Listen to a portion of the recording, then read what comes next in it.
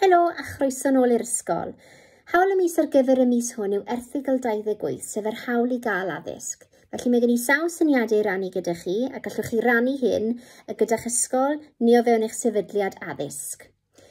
So gallwch chi feddwl am y tymor sydd o'ch blaen a'r pethau falle hoffech chi ddysgu amdanynt.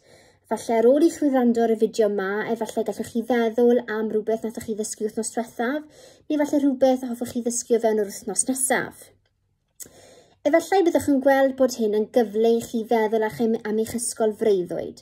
Felly, tynnwch lun o'ch ysgol freuddwyd, a wedyn dra am i chi feddwl wrth edrych ar eich ysgol freuddwyd, um, pa fath o bethau um, gall hyn ddarparu i ddisgyblion, a sut gall hyn falle gefnogi hawliau o fewn eich ysgol.